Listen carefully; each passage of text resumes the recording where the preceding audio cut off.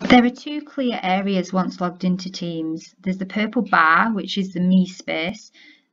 Students can clearly see activity that has taken place in any of their classes, and this is identifiable by a red notification circle. And as you can see, this student has got two.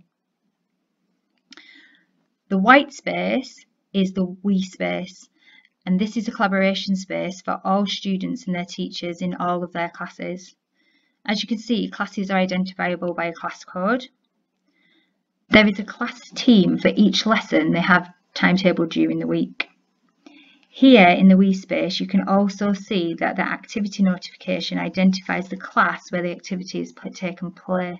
For the purpose of this webinar, I have created a demo class to show the key features of Microsoft Teams that Furness Academy teachers will be using with their students. Once opened, you can see a list of channels on the left-hand side. I have created English, Maths and Science channels for this demonstration. However, channels will be for key subject areas within individual lessons. You will also see a list of tabs at the top of the screen. Tabs will appear in each channel. To demonstrate this, I will enter the Maths channel. Files is an important tab. Teachers will store useful information specific to the channel in here.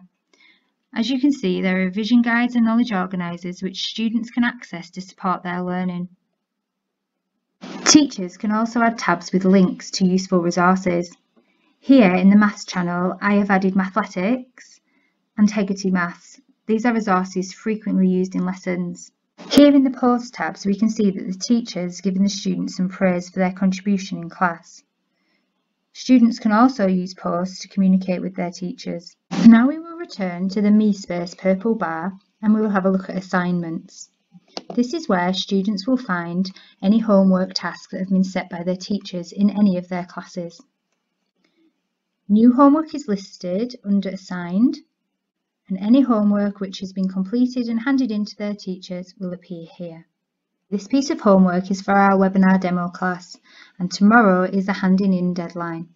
Clicking on the homework allows you to see the instructions provided by the teacher and the attached documents students will need to complete the task.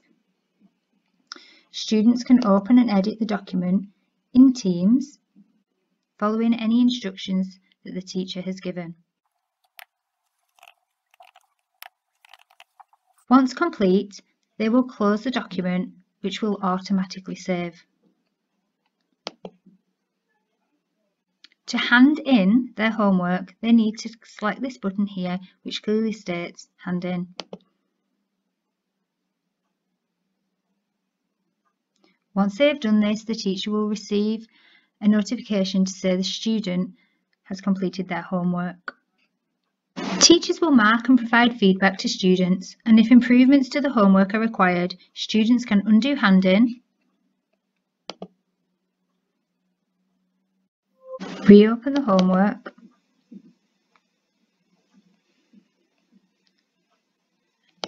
and edit the document.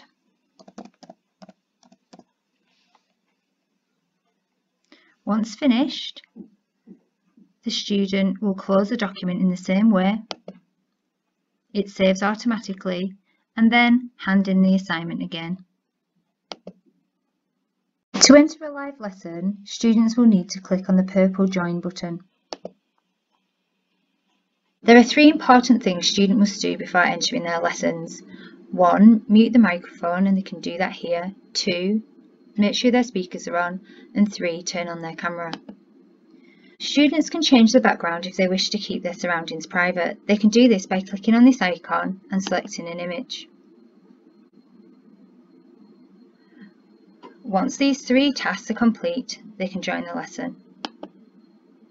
If students wish to ask their teacher a question during the lesson, they can raise their hand to get the teacher's attention using this icon here.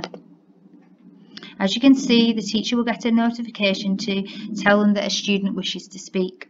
Alternatively, they can type a question in the chat bar function, which you can find clicking on this icon here. Students can type their questions and the teacher will be able to read it and respond appropriately.